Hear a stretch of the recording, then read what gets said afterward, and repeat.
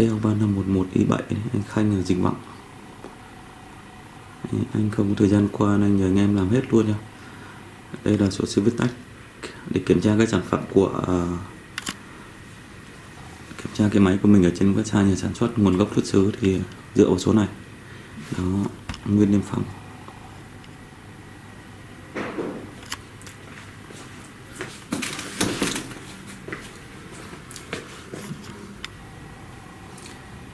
Nguyên niêm phong nhà sản xuất như này. Thường có cái cảnh báo của đeo có khóa của đeo đây.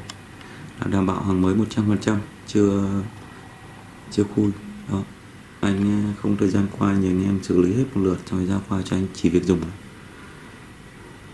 3511 đeo 3511 coi 7 à, ra 16 g ổ cứng 1000 g HDD có khe cắm SSD luôn.